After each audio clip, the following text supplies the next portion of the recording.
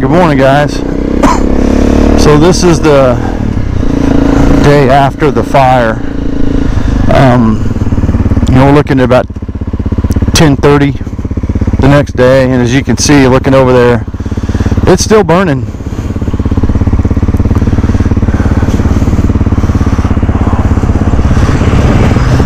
So we're gonna go up here and see how close we can get in today, see how much damage we had, and uh, go from there.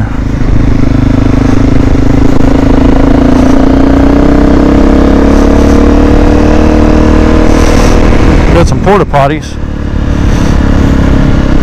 I guess they placed those all over town, which is a nice thing.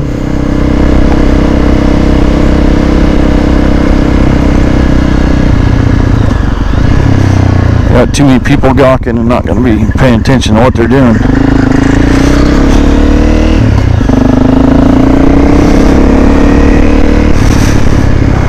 Shoot up this alley here. Okay, so right there, I do believe was probably like ground zero.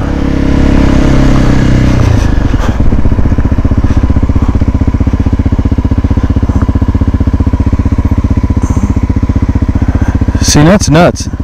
It doesn't look like there's a soul here. Oh, and it stinks. So this thing right here, that that building right in front of us is what saved us. That was like a 24 inch concrete, and as you can see right over there, that's all the storage tanks for all the chemicals that they use. And uh, I was told yesterday that if those would have went, it, it would have took out a, a big big area. But you see all the aerosol cans just laying around everywhere. I mean, they are scattered all over the place. Um, you know, you want to give a big, you know, shout out to, to all the first responders, responders in the area. I mean, they came from everywhere. I heard that we had people from, you know, El Dorado and Wichita. Uh, you know, that stayed here last night. All the highway patrolmen that came into town. All the sheriffs from other places that to watch out for everything for us you know, if you look at where those tanks are, and to think that it was 24 inches of concrete, is the only thing was stopping those things from going. These guys are some brave guys that could stay here and be more worried about their saving their community than their own lives. Because if they would have, those things would have went, they would have never known what hit them. You would have never found them. So, you know, those guys are some brave individuals right there. So, but if you can see, you know, we ran out of water in the city yesterday. And uh, that's where our big crisis is now is we, we have no water at all. Um, the runoff from this, all the chemicals went through the storage, storm sewer drains right into the river right above our intake for a water treatment plant. So that's going to be the big problem now is when are we going to be able to start drawing water off the river again to even start the process of cleaning our pipes out to where we can drink. But you see those big bladders up there, they were bringing in tanker trucks and they were filling those bladders up yesterday to, to keep dousing this fire. And, uh, you know, they just keep running. You know, that was a good thing about being in a small rural community is that we have so many rural fire departments that that was one of our, our key defenses in this is once we ran out of water, we had enough resources available to start drawing off of that. And all these tanker trucks came in and they were used to drawing off of ponds and rivers to fight fires. So it was just another day for them and it it saved it. But I'm going to get out of here for right now. I'm going to go down the river. All right, guys. So we're getting out here where uh, a lot of these first responders were drawing their water from right over here at this pond. You can see some farmer had a tractor or some big pump that brought in to use. You know, and uh, so everybody pulled together yesterday. Everything worked. So this is our old power plant. What a lot of people might not realize is that it's behind this power plant is where we draw for our city water. So yesterday, some of the photos I seen this river looked like watered down mustard. and today it looks normal. See how close I can get down here without falling down this bank. Yeah, see how it looks a lot better today. Um, I don't know if you can see, but right over that way, excuse me, there's a barrel and then there's the intake pipe, and that feeds the pump house right up here. All that storm water dumped out right ahead of this. So all those chemicals came down through here. So I guess the good news is is that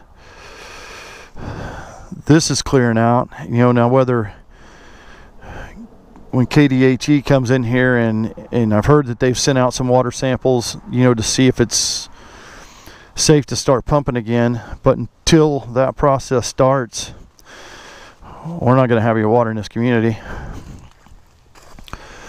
And then once they probably get the go ahead to start pumping,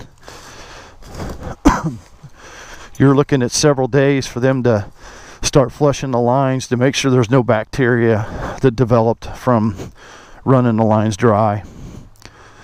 Um, I know it's Thanksgiving weekend, and there's probably a lot of people frustrated right now that that this has happened. But you know, this is a day to be thankful for. You know, there was only three injuries in that whole deal. You know, one guy got burned. I heard it was, you know, it was serious, but I heard he's going to be okay. And the other two were just smoke inhalation, and they drove themselves to the hospital. So you can't be more thankful for that. I mean, these guys did it right yesterday. You know, they had a plan. The plan worked, and you know now it's just an inconvenience. And uh, you know, being able to go home tonight to my family and have a house to go home to. You know, thanks to these guys, I'll take that any day of the week.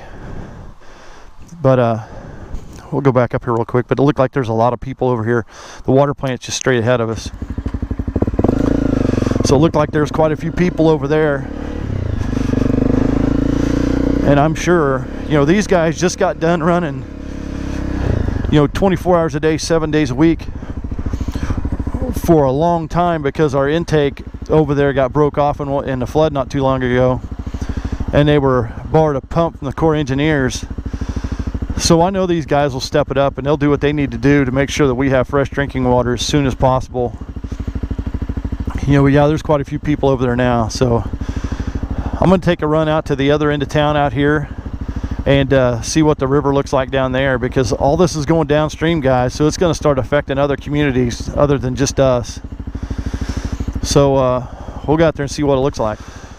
Okay, so we're not that far from the intake down here at the city dam. So as you can see, I don't I don't know if the video will be clear enough, but I can look over there and kind of see, you know, different little greenish haze. You know, and that could be the foam from the water. But the way it's kind of settling out, I don't know, it looks pretty clean up that way.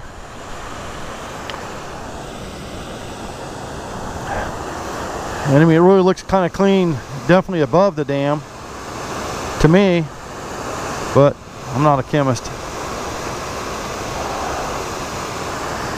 So, all right, we'll go see what the next stop looks like.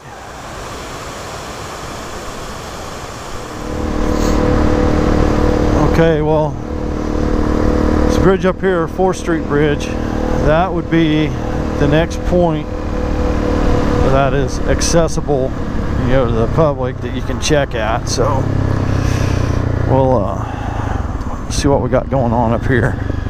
Oh that doesn't look good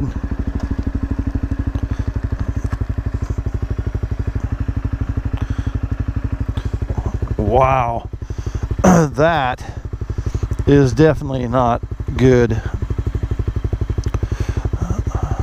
That's some nasty water right there, guys. and that's the sad thing is, is all that is going downstream. So how many people, how many towns, communities is this going to affect? I don't know. But that's nasty.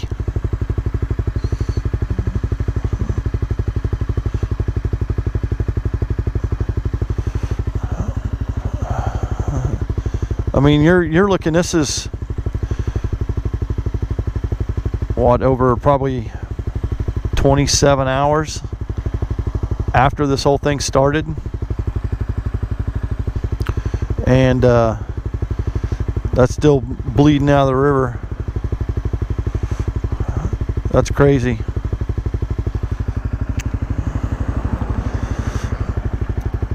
Cannot be good. I'm gonna maybe go up here and see if I can get in this bean field and see uh,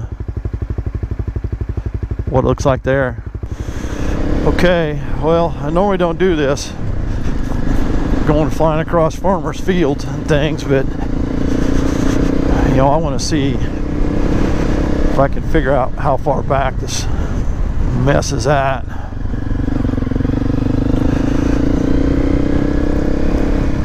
I think I might be able to get right over here. Good thing about a dual sport, you can go anywhere. Oh man.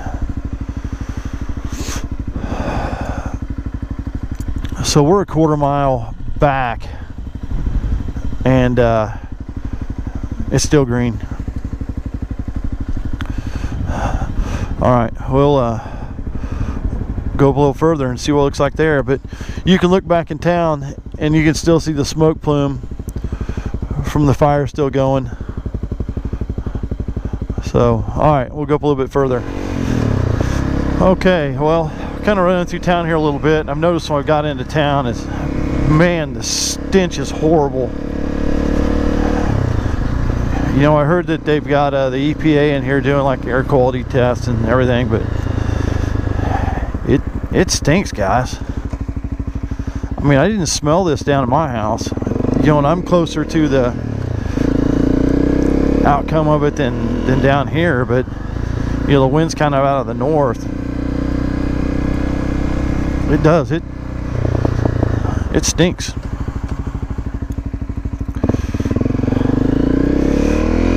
You know but I noticed I'm sure they're letting that stuff burn out if it's not going to be a big hazard so they don't have to worry about contaminating any more of the river which is a smart thing. But I mean somewhere we're going to pay for it you know, I guess, you know, which is the less of two evils. So, uh, all right, we'll see what it looks like out here in a minute. Well, I might regret this, but we're gonna see if we can get in here.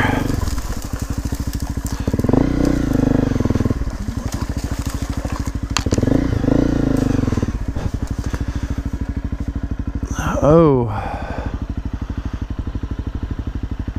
Man, that's still still green.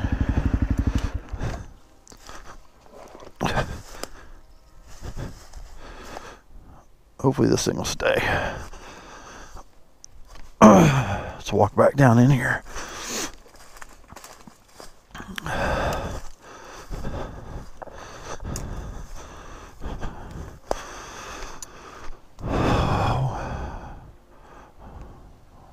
Wow. It still looks nasty. I mean, it does. I mean, from here, it's hard to tell, but it does. It looks a little bit better up that way. But I don't know that I can get up there. Uh, well, we'll see. Well, I tried to make it back up in there a little bit further, and it's just kind of soft, so I gave up. So anyway, we'll go ahead and end this thing here and uh, you know, we'll do all right as a community. We'll all come together. Another week, we'll forget about it. So, like everything, give it the big old thumbs up and uh, subscribe. And uh, you guys have a happy Thanksgiving weekend.